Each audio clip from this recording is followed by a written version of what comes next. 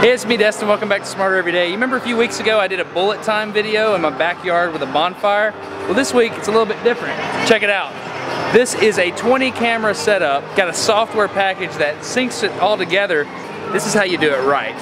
You know, I did okay in my backyard. So this is Henry from Minute Physics, and he's about to do a bullet time exhibit here at the U.S. Space and Rocket Center.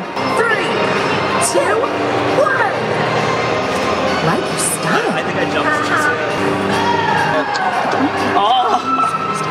That's awesome. that's so amazing. It worked. Space between any two planets is eight times. Go, I can email your video.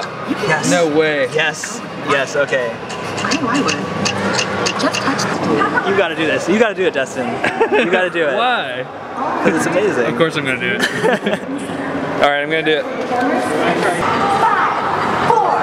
So this is exactly what happens. Check this out.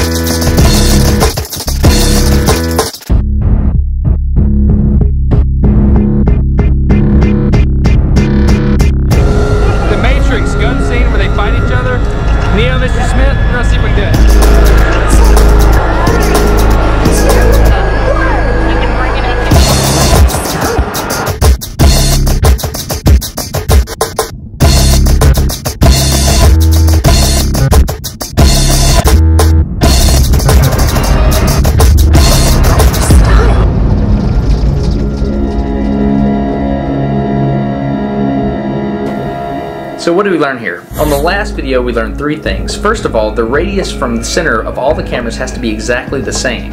Secondly, the angular offset of each camera needs to be the same so it doesn't look like it's jittery. And third, the exposure and white balance needs to be the same, which requires similar devices.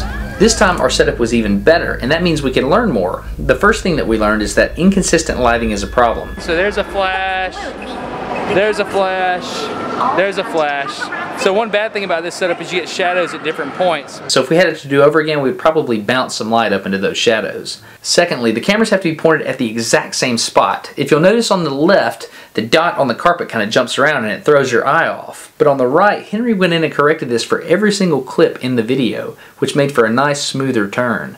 So a big thank you to the U.S. Space and Rocket Center for letting us goof off at your Math Alive exhibit. If you want to subscribe to Henry's Minute Physics channel, check him out right here. If you want to subscribe to my channel, I'll do what Henry's doing. Get it? It's like bullet time in my chair. Anyway, it's 2 a.m. It's probably way more funny to me. I have another channel, you may or may not know that. It's called Funner Every Day. This week I have a question for you on it. I'm making posters it involves lasers and cats, but I have a question as to what words need to go on there. I'll uh, leave a link somewhere. I'm Destin, you get smarter every day. Thanks.